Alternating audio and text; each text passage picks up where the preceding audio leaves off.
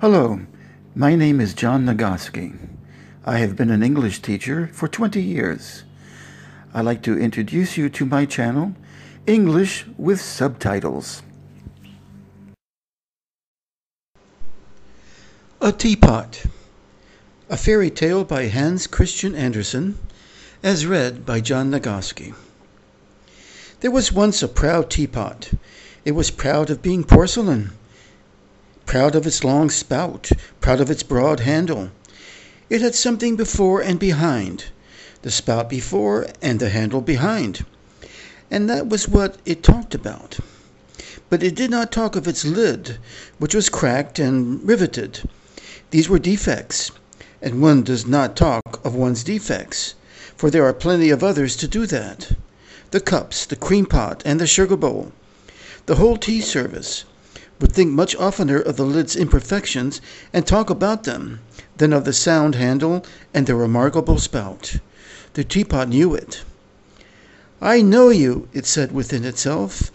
I know, too, my imperfection, and I am well aware that in my very thing is seen my humility, my modesty. Imperfections we all have, but we also have compensations.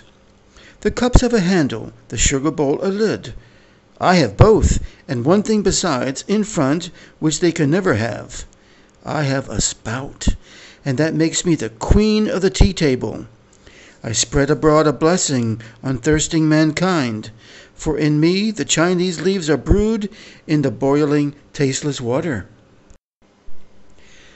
All this said the teapot in its fresh young life. It stood on the table that was spread for tea. It was lifted by a very delicate hand, but the delicate hand was awkward. The teapot fell, the spout snapped off, and the handle snapped off. The lid was no worse to speak of. The worst had been spoken of that. The teapot lay in a swoon on the floor, while the boiling water ran out of it.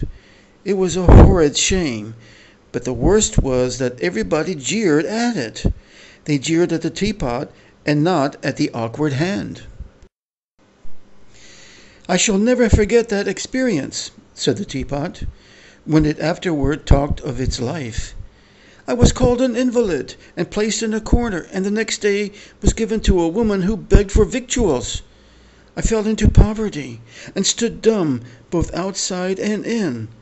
But then, just as I was, began my better life. One can be one thing and still become another. Earth was placed in me. For a teapot, this is the same as being buried, but in the earth was placed a flower bulb. Who placed it there, who gave it, I know not. But given it was, and it became a compensation for the Chinese leaves and the boiling water, a compensation for the broken handle and spout. And the bulb lay in the earth, the bulb lay in me. It became my heart, my living heart, such as I had never before possessed. There was life in me, power and might. The heart pulsed, and the bulb put forth sprouts.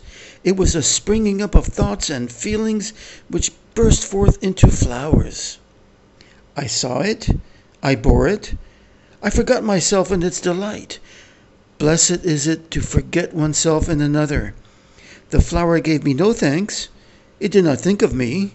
It was admired and praised, and I was glad at that. How happy it must have been. One day I heard that someone say that the flower deserved a better pot. I was thumped hard on my back, which was a great affliction, and the flower was put into a better pot. I was thrown out into the yard, where I lie as an old potsherd but I have the memory, and that I can never lose. End of the story.